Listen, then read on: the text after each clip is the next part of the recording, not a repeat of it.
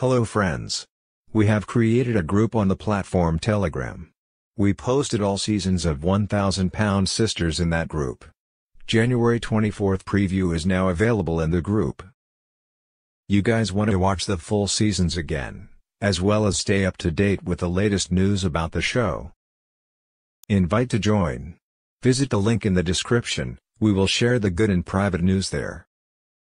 Tammy Slaton's nursing home stay as a result of carbon monoxide poisoning and pneumonia. The Slaton family vacation resulted in a lot of drama on 1000 Pound Sisters, leading some fans to believe Tammy Slaton's stay in rehab could be related to Amy buying a house and moving away from her sister.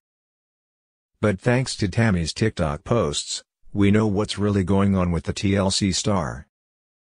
Tammy Slaton hospitalized for carbon monoxide poisoning in November 2021. In Season 3 of 1000 Pound Sisters, Tammy faces challenges with her weight loss journey.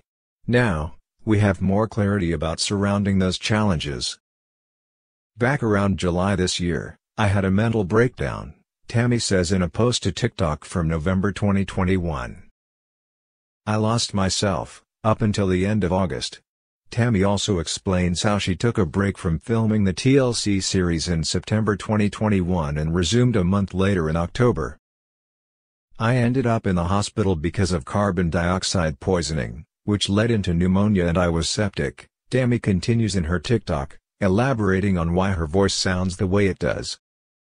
After I got off life support, they put a trach in, so I'm trying to get used to that.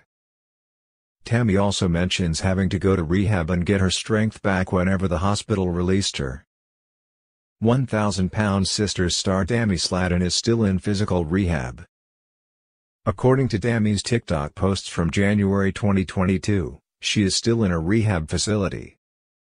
Fans of the TLC series discovered Tammy's most recent posts and some speculated her stay in the facility had something to do with Amy's new home.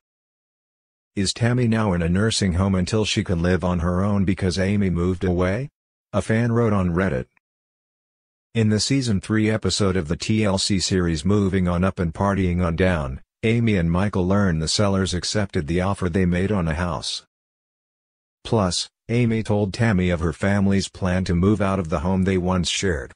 All of this took place before Tammy was hospitalized for pneumonia or moved to a rehab. Other fans were quick to correct the original poster's speculation about Amy's move resulting in Tammy's hospitalization. Citing Tammy's trach and previous pneumonia diagnosis as her reason for being in a facility. I believe she's in a nursing home now because of the trach, they wrote in a comment. She's in a nursing home now because of her trach, and I firmly believe the trach is there to stay, said another Reddit user. As long as the trach is in, Independent living will never be a possibility for Tammy. How long will Tammy Slaton be in rehab? At this time, it's unclear how long the TLC star will have to be in a rehab facility. Despite how active she is on TikTok, Tammy has not shared an update about her health in quite some time. What's more, her YouTube channel hasn't had an upload since February 2021. Amy hasn't been posting about her sister on social media, either. She is more active on YouTube and Instagram than Tammy, but most of her posts pertain to unboxings or her and Michael's son, Gage.